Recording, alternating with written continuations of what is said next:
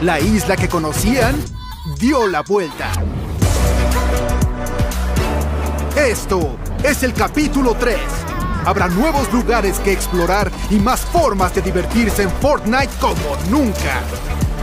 Ganarán experiencia del pase además de solo en batalla campal. Queremos que jueguen a su manera para subir de nivel y obtener atuendos del pase, incluyendo a Spider-Man. Y tenemos más sorpresas. Avancen más rápido y eviten el fuego enemigo deslizándose y balanceándose. Armen campamentos para curar a su escuadrón y pasar objetos de una partida a otra.